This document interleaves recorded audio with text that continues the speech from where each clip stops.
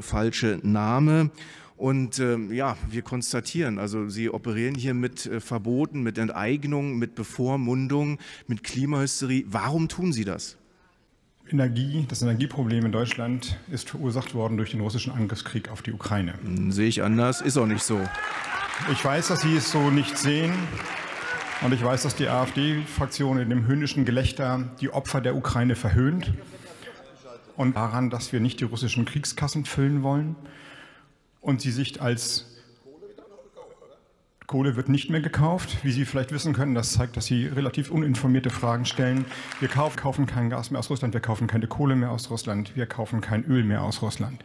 Und das tun wir, um die Kriegskasse von Putin nicht weiter zu füllen. Ich verstehe nicht, das muss ich in der Härte sagen, wie Sie die historische Schuld, die dieses Land auf sich geladen hat, ausblenden können, sogar noch unterstützen. Das ist für mich schwer nachvollziehen. Und darauf auch noch eine Frage aufzubauen, ist, äh,